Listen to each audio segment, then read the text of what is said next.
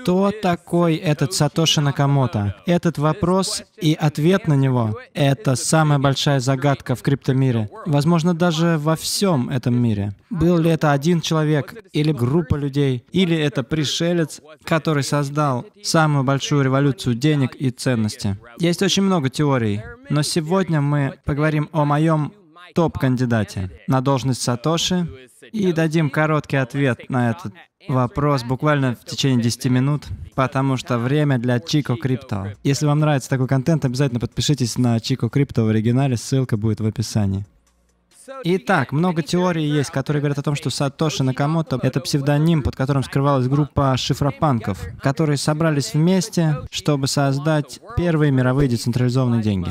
Группа я не верю этому ни на одну секунду, потому что группы не могут оставаться в секрете.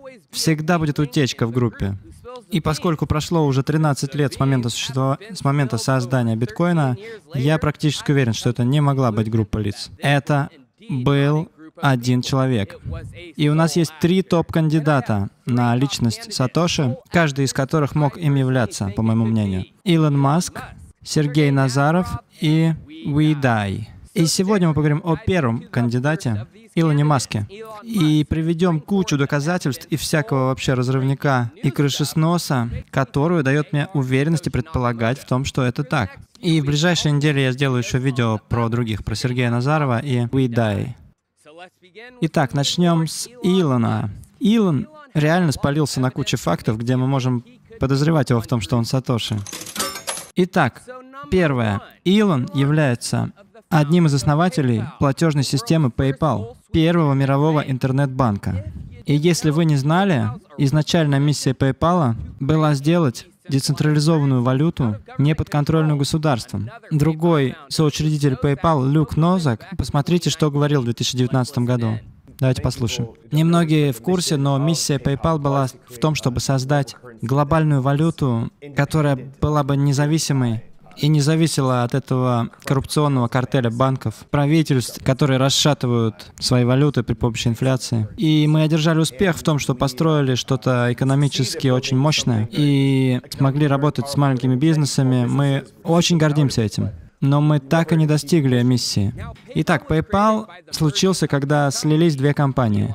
Первая онлайн-платежная компания Илона Маска, X.com, и вторая платежная компания Confinity Питера Фила. Они соединились вместе в марте 2000 года, и, собственно, с этого момента PayPal и начал свое существование. Давайте послушаем вот это интервью Илона Маска 2005 года, где он объясняет, что делала его предыдущая компания X.com. Итак, это был способ оплачивать покупки в интернете. Это был способ передавать друг другу деньги от одной сущности к другой при помощи специального уникального идентификатора, которым был email адрес.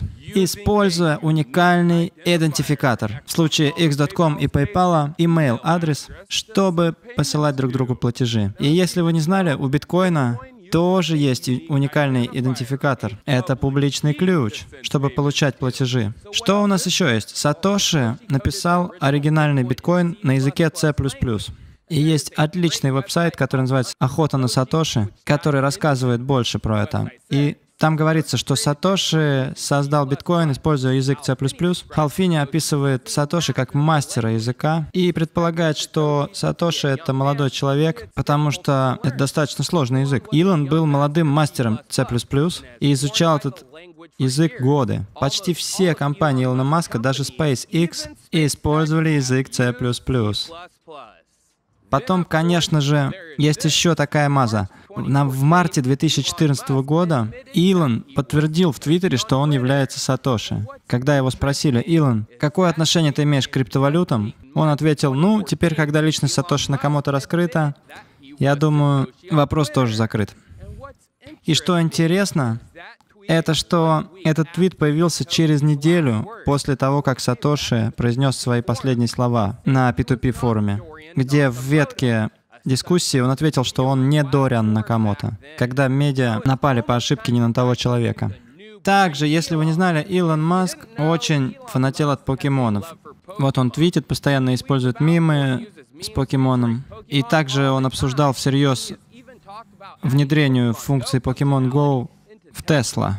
И его бывшая девушка, от которого у нее двое детей, Граймс, тоже любит покемоны.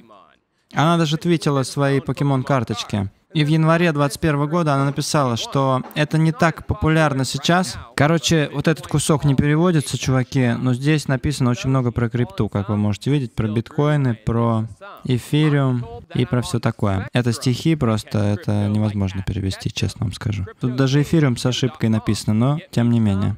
Итак, почему же я заговорил об любви Илона и Граймс к покемонам? И как это относится вообще к раскрытию личности Сатоши? Давайте погрузимся глубже в кроличью нору. Граймс говорит здесь стихами своих песен. «Я ловлю крипто, как пепел кетчум». Итак, что же я имею в виду? Как вы, наверное, знаете, в мае 2020 года у Илона Граймс родился ребенок. И чем они шокировали все медиапространство, они назвали его XAEA-12. Итак, как же это читается? Как Илон сам сказал в своем подкасте Джо Рогану, ну, это просто как буква X. X. И A, E потом произносится как Ash. A, E в имени произносится как Ash, как Ash Ketchum. И если вы не знали, Ash Ketchum — это покемон, также известный как Сатоши в Японии, как вы можете видеть в Википедии. Ash Ketchum также известен как Сатоши в Японии. Но это уходит еще дальше, ребята. Теперь мы знаем, что X читается как буква X в его имени, AE читается как Ash, то есть Сатоши. Так что же такое A12? Ну, если вы не знали, то X Ash A12 родился 4 мая 2020 года. 2020 год — это был год чего? 12-летней годовщины white paper биткоина. Так может означать A12, 12 годовщину, годовщина по-английски anniversary. О, гребаная музыка. Но всем похер на музыку, да? Пожалуйста, ожидайте. A12 означает Anniversary 12, то есть 12 годовщина white paper биткоина. Так что читаем имя наоборот и получаем 12 годовщина Сатоши и X, означающий определение. Подожди, те еще есть еще кое-что интересное. Что насчет утечки IP-адресов? Есть отличный блог, который называется «Кто такой Сатоши Накамото?», который изучает именно этот вопрос. И он говорит, что в январе 2009, когда Хал и Сатоши работали над альфа-версией биткоина, у Хала была ошибка с э, программным обеспечением, которая отправила баг-лог в э, лист почтовой рассылки. И в первой версии софта использовались IP-адреса, чтобы получать и отправлять биткоины. И таким образом у нас есть IP-адреса трех пользователей. Это было в 2009 году, когда Сатоши, Хал и еще один человек работали над проектом. Итак, где же находился Сатоши, исходя из этого IP-адреса? Ван Нойс, Калифорния, Соединенные Штаты. Бинго. Вот такая вот тема, чуваки. И потом еще вот эта забавная статья про личную жизнь Илона в его частных самолетах. Этот самолет зарегистрирован в филиале SpaceX, который называется Falcon Landing, в честь его многоразовой ракеты, согласно записям Федеральной администрации авиации. Маск или его партнеры приняли дополнительный шаг, попросив не раскрывать детали полета в публичных базах данных о перелетах. Суть в том, что большинство вылетов были как раз из э, Лос-Анджелесского Ван Найс аэропорта. Это были короткие полеты в соседний Bel Air, где у Маска есть пять раздельных усадеб. Итак, мог ли быть Илон в 2009 году где-то рядом с Van Noise, откуда произошла утечка IP-адреса? Ну, вот эта вот статья из издания Mention Global говорит нам, да, он мог. Они говорят, в 2012 после трех лет аренды мистер Маск купил эту огромную усадьбу, ссылаясь на все вот эти официальные источники. Три года аренды до 2012, когда он ее купил, это как раз 2009, чуваки. Илон арендовал эту недвижимость как раз в то самое время. И последнее доказательство, которое все это вместе собирает, это бритва Акама. Бритва Акама гласит, не стоит прибегать к изобилию вариантов, для объяснения чего-либо, все вещи являются равными, и самое простое решение всегда самое лучшее. О чем Илон не раз нам с вами говорил. 7 января 2021 года он твитнул, Самый занимательный результат наиболее вероятный. После чего он сказал, да, а бритва Акама — это на самом деле третий наиболее вероятный. Ну, Илон в 2021 году был одним из гостей на конференции B-Word, где он говорил с Джеком Дорси, CEO Twitter и Кэти Вуд из ARK Invest. И как вы думаете, что он там сказал, когда речь зашла о бритве Акаме и его мнении на этот счет? Ну, бритва Акама говорит о том, что самый простой ответ наиболее вероятный, и да, это краткая мысль этого учения. И как один друг мой сказал, что самое ироничное является самым вероятным. И тогда я сказал, что самый развлекательный вариант является наиболее вероятным.